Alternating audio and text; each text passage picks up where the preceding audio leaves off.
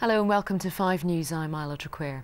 She was the mother who had the sympathy of the nation when her daughter disappeared on her way home from school. But today, for the first time, Karen Matthews has been accused of kidnapping and imprisoning nine-year-old Shannon in February this year. Well, Peter Lane is outside court in Leeds. Peter, a dramatic twist tonight. So, Peter, what happens next in this case? During Leeds, thank you for that. This weekend, the Paralympic Games begin in Beijing, but 5 News can reveal the shocking treatment China gives to its own disabled people. They are ordered off the streets and face daily discrimination.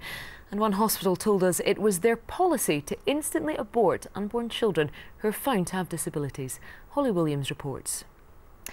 They say that sex sells. Well, if the European Parliament gets its way, that may not be the case for much longer. It wants to ban adverts that use scantily clad women or men to push products. We sent Simon for a little commercial breakdown. And let's talk to Andy now in St. Paul in Minnesota. Andy, you've been in America for the past few weeks speaking to people. Which candidate do you think the voters think has... Jane, tell us more about the incident. Now, when England footballers take part in a World Cup, there's usually more glitz than glory. But this weekend, that could change as the under-12 team take on the world in Paris. Former international star Jamie Redknapp is the man in charge of the Beckhams of the Future.